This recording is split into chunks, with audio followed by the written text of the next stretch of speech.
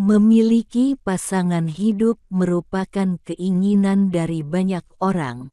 Namun, untuk mendapatkan yang terbaik sebagai jodoh bukanlah perkara yang mudah. Lalu, amalan apa yang bisa dilakukan agar bisa cepat mendatangkan jodoh yang sesuai dengan tambatan hati tersebut? Jangan sibuk mencari, tapi sibuklah menjadi. Maksud dari ungkapannya tersebut, sebagai seseorang yang menginginkan memiliki pasangan yang soleh atau solehah, maka perbaiki diri sendiri terlebih dahulu.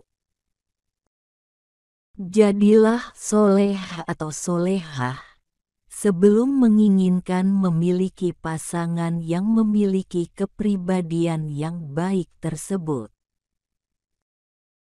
Sama halnya dengan memiliki keinginan harta yang berlimpah, maka lakukanlah amalan sedekah terlebih dahulu sebelum jadi kaya. Sedekah dulu, nanti Allah jadikan kaya. Pada dasarnya, perkara jodoh merupakan kehendak dari Allah, maka mau seberapa besar usaha yang dilakukan, apabila memang belum waktunya, tidak akan bisa dipaksakan. Kalau buat jodoh, itu sudah ada yang menentukan. Maka dari itu, Sebelum sibuk mencari pasangan yang sempurna, maka bentuklah diri masing-masing menjadi versi yang terbaik terlebih dahulu.